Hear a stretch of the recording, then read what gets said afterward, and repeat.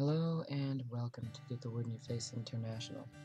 This is Pastor Cheryl Jackson coming to you with a word from the Lord. God is faithful to his house, and we are his house, his workmanship created in Christ Jesus. He's a wonderful God, a good God who is worthy of all the praise and all the glory. He's a God who is with us at all times and will never ever leave us. We come after him, we look for him and we find him every time we come to sit with him. There's a time of the day that you've chosen, that the Lord has, the Spirit of God has led you to, where you get up every day and you go find that secret place. You sit with the Lord. Psalm 91 again, 1 and 2. You know, you seek the Lord. You find yourself in the shelter of the Most High you find yourself making him your habitation, your your house, your place of refuge, your place of safety, your place where you go and you know that you are in him and he is with you. That place where you get your strength from, that place where you get your your appeal from. you know? That place where you get that love from.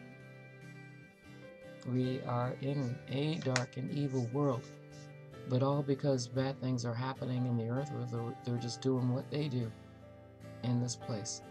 We, all the, yeah, I'm, I'm saying, in other words, even though it's dark for them, it's light to us. And if it's light to us, as we go out into this place, our light shines and it flickers in this dark world. If anything comes against you, you know,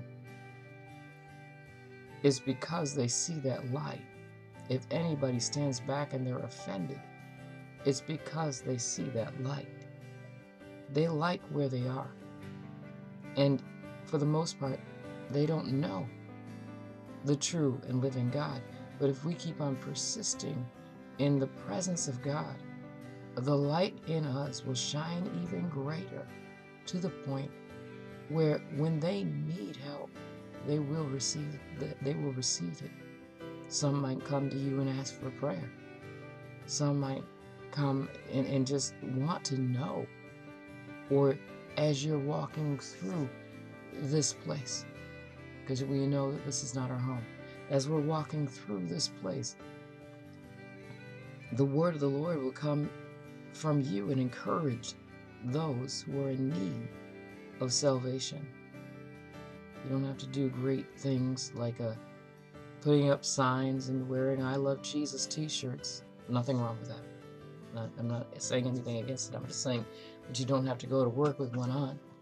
All you have to do is really be who you are. Be who you are in Christ. Come sit down with Him every day. Make the Lord Most High your refuge and strength. Let Him beautify you he beautifies the meek. That meek is humble. Those who submit themselves to God. You know, you come to Him looking for strength to resist the evil that's in the world today. Because temptations and situations and circumstances, testings and trials are going to come. But greater is He who is in you than He that is in the world, the one who reminds you of all truth. We can do all things through Christ who strengthens us. He leads us in paths of righteousness for His namesake. This is really all about Him. If we believe on Him, He will show Himself strong.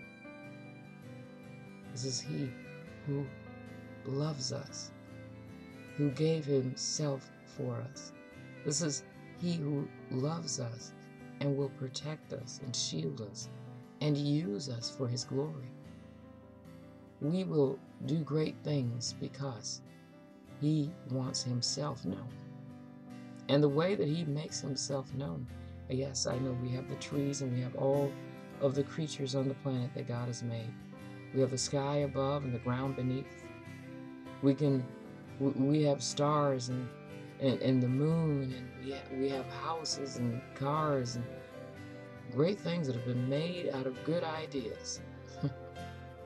Everything that's good that happens comes from God. But These things alone. You know, I forgot about the water and the fish and the sea and all these other amazing things that his hands have made, his words have made. We have all of these things. And yet, God chooses to work through us. It is, it is written in the Word. God chooses to speak the gospel, the good news about coming to Him and being with Him, about everlasting life, and about not having to endure this planet the way that we have been enduring it, living in it. We can live without sin. Sin might be around us while we're in the world, but it doesn't have to have us. Sinful nature does not have to rule in your heart and mind, in your mortal body. He can keep you from sin. He can keep you from falling. If we really believe on the Lord Jesus Christ. If we really take time to come sit with Him. You see, as you walk through this day and your tomorrow and any other day, the times that you have spent with the Lord, they build up. It builds up in the Word and it builds up in song. And you can't help but remember the Word and you can't help but sing the Word. And when trouble comes, or testings and trials come, you have the strength inside of yourself to resist evil. That's a good thing. You have the strength inside of yourself not to lean to your own understanding when somebody accuses you of something, or when somebody just doesn't like you, or when somebody wants to know, or uh, wants to know about Jesus, wants to know about the Father of heaven and earth, wants to know has good questions, but bad intentions. when people want to just catch you by your words and just make fun of you, the word of the Lord is in you, and the word proves itself if you say it, if you don't shrink back.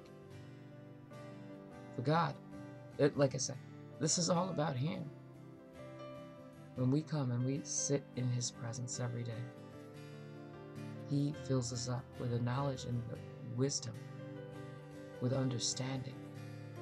Not that you might understand every situation in the world that happens, but the understanding is about Him. The clarity that you get, you get is about Him. It's not about the issues of the flesh, what I can and cannot do. It's about I can do all things through Christ who is my strength. You know, you begin to say things like, He is the everlasting Father, the Prince of Peace, the wonderful Counselor, the mighty God. He is able to deliver us. Yet He has delivered us from all of our fears. Anything that comes against us, we refute with the word of the Lord. That's our inheritance. That's, uh, what is that, Isaiah 55. Yeah. It is our inheritance. The world, no weapon that is formed against us will prosper. You know why the weapon that's formed against you won't prosper? Because those things that come against the knowledge of God were made by God. And they don't have more power than Him. He tells them where to go. He told he put them out of heaven. He tells them where to go. Jesus is the head of every principality and power. And this is why we must come and submit ourselves to God. The Spirit of God teaches us how to resist evil. The Word accumulates on the inside of you. And like Jesus said, the, the, the Holy Spirit, He reminds you of the truth. He makes you that the water that's in you well up out of your heart and out of your mouth. And it speaks to the atmosphere that you, those things that you can't see, things that are, are seen yet not seen and heard yet not heard. It speaks to the atmosphere that's that's trying to charge up and destroy all of God's good things and tells it to shut up and get out of here. You have no power and no no no dominion here. You have no authority here. because Christ is here. And when Christ shows up, that Christ in you, and not waiting for a feeling, because we walk by faith. We walk by faith.